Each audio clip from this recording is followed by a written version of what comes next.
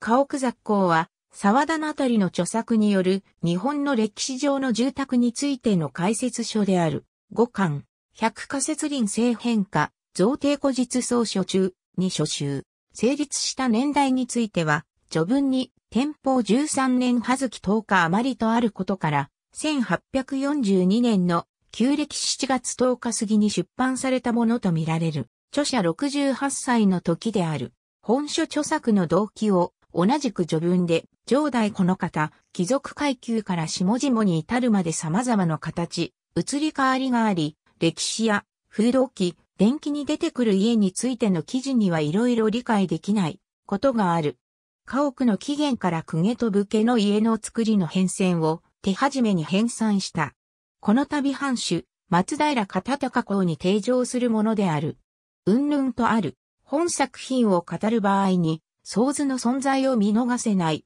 平安期の上流階級の住まいである神殿作りの項に創図があり、それがネトの作りの概念を多くの人に伝えるために計り知れない役割を果たしている。明治以後の教科書等では、平安時代の公家の生活を説明するときには、必ずと言ってもいいほど本書の創図が使われた。建築士の世界に神殿作りという用語が出てきたのは、1901年に出版された伊藤忠太らの広本日本帝国美術略史からである。しかし建築士も初期には実物が存在する自社建築が中心であり、1927年に前田松院の神殿作りの高級があるものの、建築士の対象が住宅にまで広がるのは、昭和7年の日本風俗史、講座六巻に収められた田辺康氏の日本住宅史からである。その内容はまだ画像711のような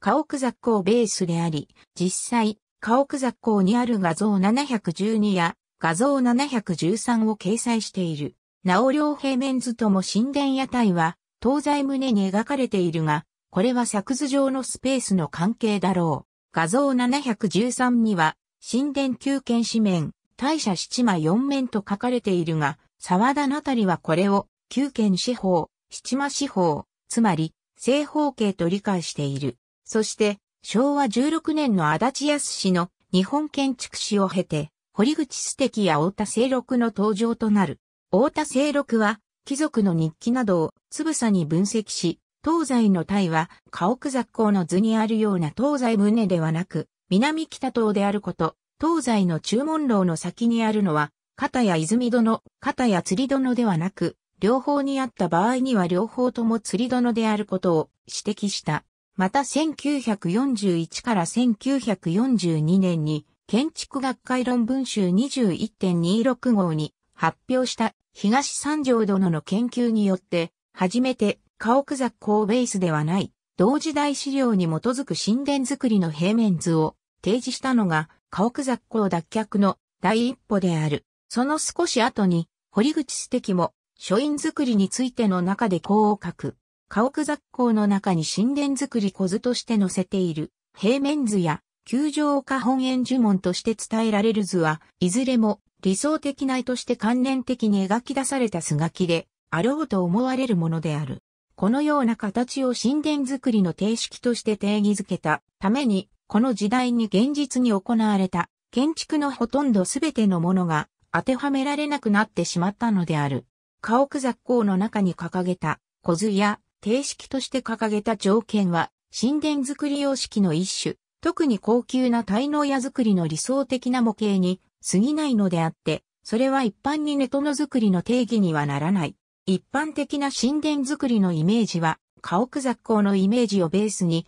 神殿屋台を長方形にするなど若干修正したものである。一丁四方の敷地に、神殿の南底に船が浮かべられるような池があり、神殿の両脇には東西に神殿と同レベルの体があって、神殿を中心にその池を囲むようなこの字型の建物の配列とイメージされることが多い。大田清六は典型的な神殿作りの配置形式をこう説明する。敷地の中央に聖殿たる神殿が南面して立ち、その東西北の三面に牢を出して体を作る。東西両体からはさらに前方に注文楼が伸びて、途中に注文を開き、牢の先端の池に臨んでは釣り戸のを設ける。池は神殿の前方に広く取られ、地中には中島を置き、橋を貸して渡る。正門は東西に設けられ、門を入れば一方に車宿があり、ついで注文に達する。したがって、その前構えは完全なる左右対称を保つというのであるが、実際には、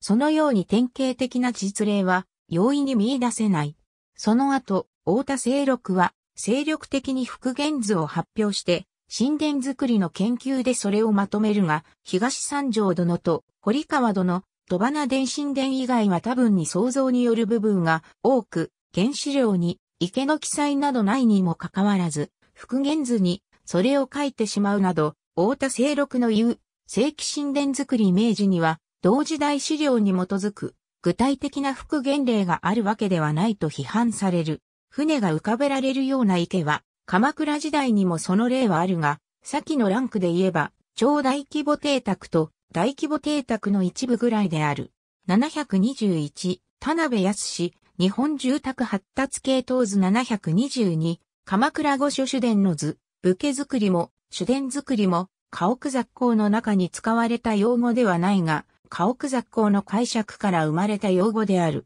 家屋雑工が描いた、源氏物語ベースの雅な建築様式が、神殿作りと理解されたためか、かつては、鎌倉時代から室町時代の武士の邸宅には、それとは別の武家作りという建築様式が想定されていた。沢田のあたりの家屋雑工、佳作遠隔の中での説明を川本茂雄はこう要約する。平安時代に公家の住宅として写真な神殿作りが成立する。鎌倉時代に質素な武家の住まいが登場する。室町時代に将軍が京に移ると武家の住まいも公家風の過敏なものになる。応仁の乱で神殿作りは途絶え、以後住まいは書院作りとなる。沢田のあたりは当時武士の家居というは、また別に一つの作り方ありしに似たりと、質素な武家の住まいは、鎌倉時代だけでなくその前からあったとしている。そして、武家の住まいが発展して書院作りになったと、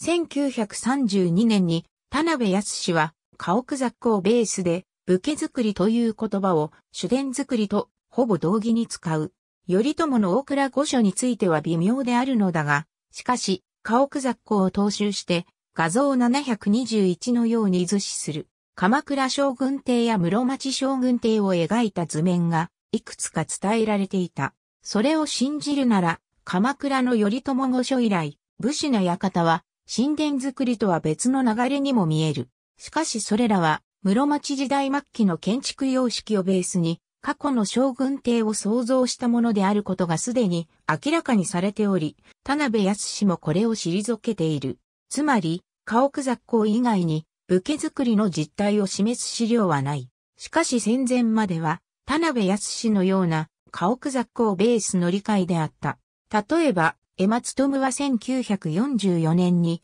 日本住宅調度市の国風発達時代で1章、宮城公家住宅の次に2章、武家住宅を置き広角。武家作りという名称は武家の住宅という意味ではなく、武家が古より住みうるように設備した特別の家作りということである。されば武家作りという不物の起源は、武家というものの発生時より存在せしものと認めていいのである。その出版の前連に、太田清六と堀口素敵は武家作りを否定している。太田清六は日本の古建築の中で神殿作りから書院作りへの直結を主張した。そして堀口素敵も昭和18年の学位論文、書院作りとすき家作りの研究の序文にこう書く。武家作りは武士の住居というほどの意味でのみ用いられる言葉であって、その初期のものは様式的にネトの作りに属するものであり、その後期のものは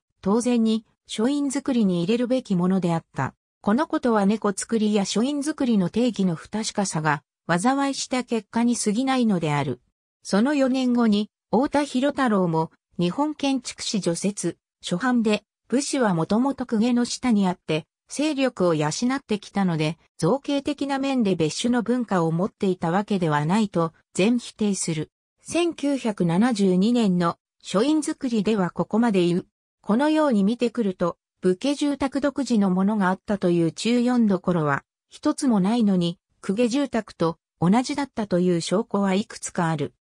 そうなれば、もう、武家作りというような幽霊は早く消えてなくなった方がいい。そして、その亡霊に取り憑かれてしまう。こうして、武家作りの概念は消え、現在では、鎌倉の将軍御所も、小ブスマ三郎へ言葉の小ブスマ三郎の屋敷も、西行物語絵巻にある出家前の西行、北面の武士として、鳥羽上皇に仕えた、左平城、佐藤則清の屋敷も、一辺商人家伝の多い、太郎の屋敷から、法年商人家伝のまるで農家のような横領し漆、時国の館まで、すべて神殿作りの範疇に入れられている。そして当初は、武家作りと、ほぼ同義で用いられた、主殿作りという用語は、武家作りを離れて、神殿作りから書院作りへの過渡期を表すものとして用いられる。沢田なたりだけでなく、江戸時代には馬面記法に意味は忘れ去られており、それが再発見されるのは昭和になってからである。円呪文とは、大臣化の意例えば下法2年、3位、14位下大江公中処分上案からの復元図である。処分上案に池の記載はない。それに対して、太田清六は、庭園関係については一言も触れていないが、南半部には、御堂と所層しか設けられなかった点から見ても、南半部は園地であったことがわかるので、南池や中島を持つ神殿作り式造園がなされたのであろうと中島付きの大きな池を書き込む。注文楼も処分上案に記載はないが、太田清六は復元図に書き込む。微妙というのは、このような記述である。最初の大倉幕府の館にも、神殿、馬屋、小御所、釣り戸の塔の神殿作り系統のものと侍所、門中諸島の諸位武家作り系統のものとの存在を知るのである。これによってみれば、前の鎌倉時代の幕府は、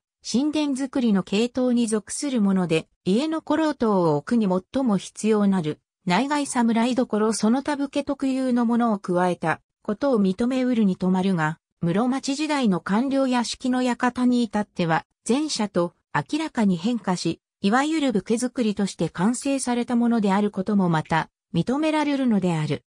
しかし侍どころは侍楼と同じである。一つには、東鏡により友の大倉御所に18件という侍どころの記載があり、これを巨大な建築と捉えて神殿作りとは違うと感じたのかもしれない。しかし侍どころは侍楼と同義であり、神殿作りにはほぼ必ずある。牢なら大きくても播磨二軒であり、頼朝の時代の関東なら、柱間寸法は、神殿の一畳約3メートルよりも狭く2メートル程度である。建築物は播磨を増やすには高度な技術はいるが、桁行きを伸ばすのは容易である。同じ作りをどんどん伸ばしていけばよい。二平二年人主十四位上賀県の市の鴨坊、家路譲り上案には、敷地五段、つまり一丁の半分16個種の敷地に13軒楼が見えるし、10軒程度ならザラにある。侍は武士の意味ではなく、次女の侍、つまり屋敷の主人に仕える者のの意味で、侍どころイコール侍楼は、お屋敷での執事の控え室である。論文の場合、著者名の後の年は、論文の書室の年、ページ数は参照した収録書籍のもの。論文の並びは著者別書室都市順で、収録書籍の発行年とは異なる場合がある。ありがとうございます。